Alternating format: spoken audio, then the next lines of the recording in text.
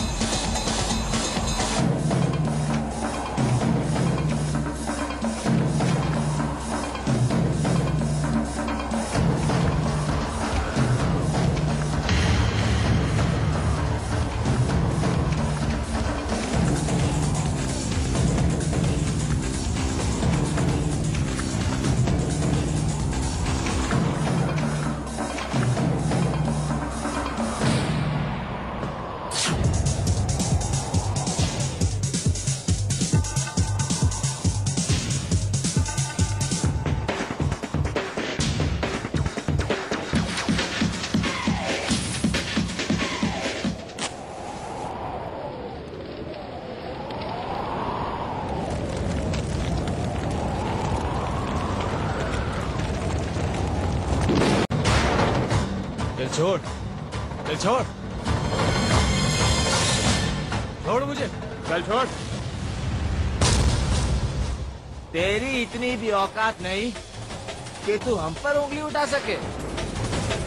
क्या अपने पति को जाकर बचा। और अगर नहीं बचा सकती तो मर जा उसके साथ।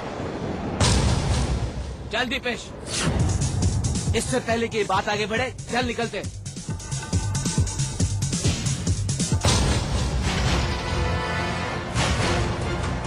कि। हे दीपेश कहाँ था यार तू? हमें यहाँ पार्टी में बुलाया और खुद गायब हो गया? देखना शादी हुई नहीं और ये हाल है। शादी के बाद तो पता ही नहीं चलेगा। कब इसकी शक्ल मिल जाए देखने को। ये पार्टी वार्टी ना सब खत्म हो गई है। ये मौज मस्ती ये ऐशो आराम सब खत्म हो चुका है। तुम्हारे लिए भी और मेरे लिए क्या हुआ? तू ऐसे क्यों बोल रहा है? तेरी शादी कैंसिल हो गई क्या?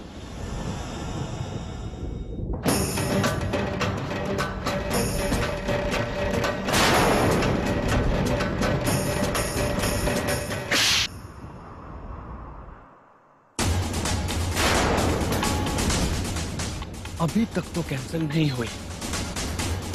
लेकिन अगर एक मिनट और मैं उस हवेली में रुक जाता ना तो इस नौबत को आने में भी देर नहीं लगती। हफ़्ते भर पहले वाली रात याद है ना तुम दोनों को?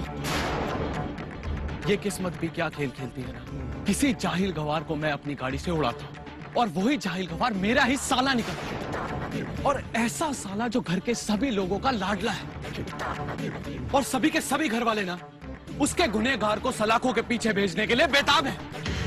और उसकी बीवी जो उस रात वहाँ पर थी वो मुझे पहचान चुकी है। ऐसे में मैं क्या करूँ हाँ? कुछ भी सिवाय इस तरह भागने के। मतलब जाओ और उस लड़की का मुँह बंद करवाओ। साम दाम दंड भेद किसी भी तरह से। बिल्कुल। यही एक रास्ता है दीपेश। तू उस घर का दामाद है। तू अपनी पहुँच का और ज़रूरत पड़े तो अपने पापा की पहुँच का फ़ायदा उठा। हाँ लेकिन तुझे ये अभी और इसी वक्त करना होगा। इससे पहले कि वो लड़की वहाँ कुछ तमाशा खड़ा करे, तू जाकर उसकी ज़ुबान पर ताला लगा दे।